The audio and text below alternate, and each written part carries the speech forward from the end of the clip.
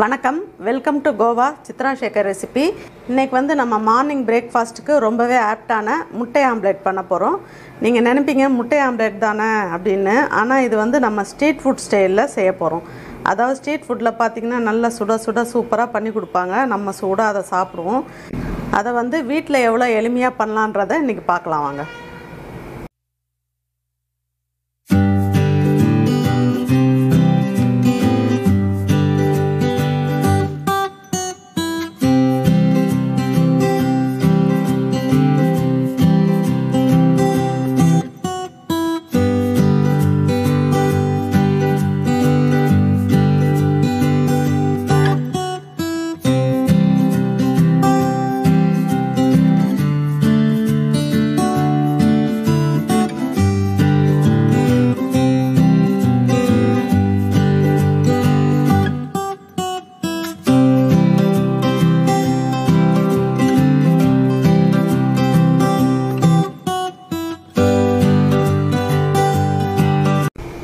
இப்போ அடுப்பை ஸ்டார்ட் பண்ணிவிட்டு தவா வச்சுருக்கேன். நல்லா ஹீட் ஆகிடுச்சு இப்போ என்ன பண்ணுங்கள் ஒரு ஒரு ஹாஃப் டீஸ்பூன் பட்டர்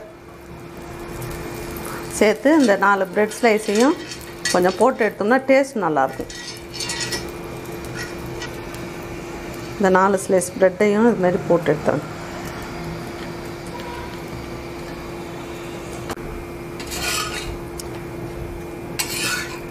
சும்மா ப்ரௌனாக ஆகணும்லாம் இல்லை. சும்மா அந்த டேஸ்ட்டுக்காக தான் நம்ம இது செய்கிறோம்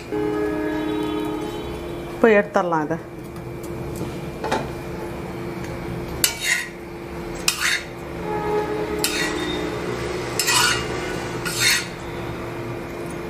இப்போ நம்ம ஆம்லேட்க்கு ரெடி பண்ணிடலாம். இப்போ இதில் வந்து ஹாஃப் அ டீஸ்பூன் மஞ்சத்தூள் சேர்த்துக்கலாம். கொஞ்சமாக அரை டீஸ்பூன் உப்பு சேர்த்துருக்கேன். இந்த மூணு முட்டையும் இதில் உடச்சி ஊற்றிக்கலாம்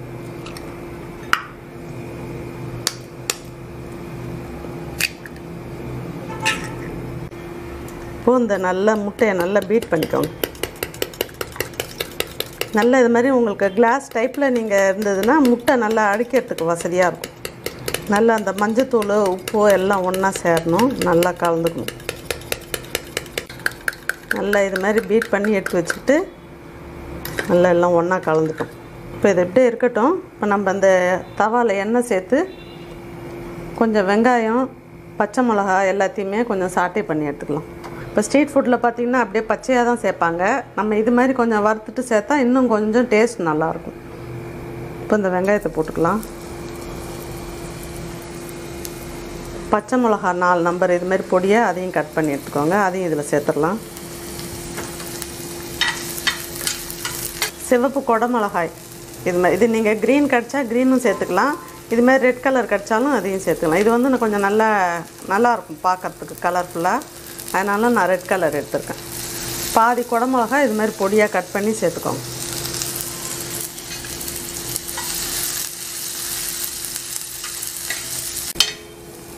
இப்போ அதை லேசாக எண்ணெயில் வறுத்துட்டோம். இது எல்லாத்தையும் இந்த முட்டையில் சேர்த்துடலாம்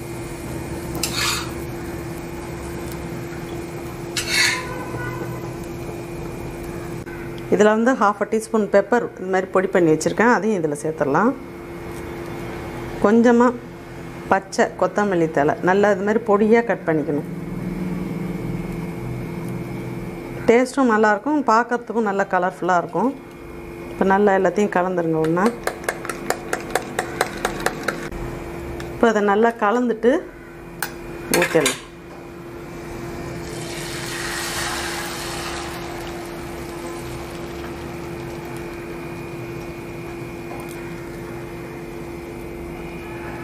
சிம்மிலே இருக்கட்டும் அப்போ தான் உங்களுக்கு நல்லாயிருக்கும். இப்போ இதில் கொஞ்சம் சுற்றி எண்ணெய் சேர்த்துக்கலாம்.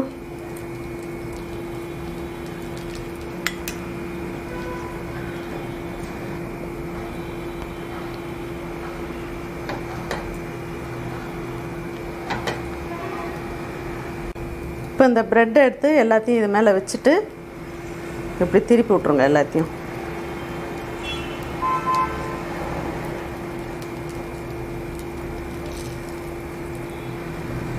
சிம்மிலே இருக்கட்டும் கொஞ்சம் நல்ல அடியில் வேகட்டும்.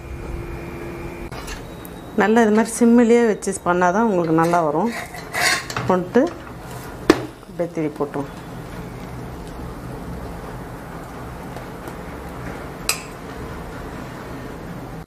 இப்போ அடி பக்கமும் நல்லா வெந்திருக்கும். இப்போ மறுபடியும் ஸ்ட்ரெயிட்டாக திருப்பி போட்டலாம் நல்லா வந்துருச்சு பாருங்கள் கோவாவில் இந்த சைட்லாம் வந்து இந்த மாதிரி bread omelette omelette pav bhaji chaat item எல்லாமே ரொம்ப ஃபேமஸ் பாருங்கள் ஸ்ட்ரீட் ஃபுட்டில் நல்லா சுட சுட செஞ்சு கொடுப்பாங்க. நல்லாயிருக்கும் சாப்பிட.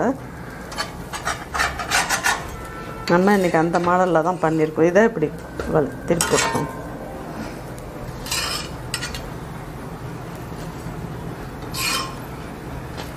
அவ்வளோதான் இப்போ இதை அழகாக சர்விங் பிளேட்டுக்கு மாற்றிடலாம்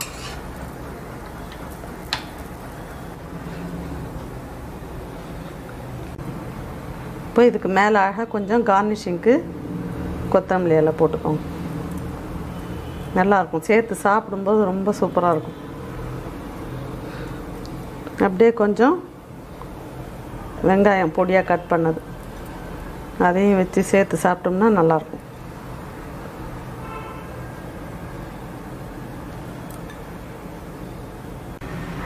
நல்லா சூப்பராக ஸ்ட்ரீட் ஃபுட் ஸ்டைலில் அருமையாக பண்ணியிருக்கோம். அதை விடவுமே இது கொஞ்சம் டேஸ்ட் நல்லாயிருக்கும் பாருங்க. ஏன்னா நம்ம அந்த வெங்காயம் எல்லா பச்சை மிளகாய் எல்லாத்தையும் எண்ணெயில் வறுத்து சேர்த்ததுனால ரொம்ப டேஸ்ட் வந்து ரொம்ப சூப்பராக இருக்கும். நீங்களும் இதே மாதிரி ஒரு சண்டே அன்னைக்கு மார்னிங் பிரேக்ஃபாஸ்ட்டுக்கு இது மாதிரி உங்கள் வீட்டில் உள்ளவங்களுக்கெல்லாம் ரெடி பண்ணி கொடுங்க. நல்லா எல்லாரும் விரும்பி சாப்பிடுவாங்க. இந்த ரெசிபி உங்களுக்கு பிடிச்சிருக்குன்னு நினைக்கிறேன். பிடிச்சிருந்ததுன்னா லைக் பண்ணுங்கள் ஷேர் பண்ணுங்கள் கமெண்ட் பண்ணுங்கள் மறக்காமல் சேனலை சப்ஸ்கிரைப் பண்ணுங்கள் அப்படியே பக்கத்தில் உள்ள பெல் ஐக்கானையும் கிளிக் பண்ணிங்கன்னா எங்களோட பதிவுகளெல்லாம் உங்களுக்கு நோட்டிஃபிகேஷனில் ரெகுலராக வரும். தேங்க்யூ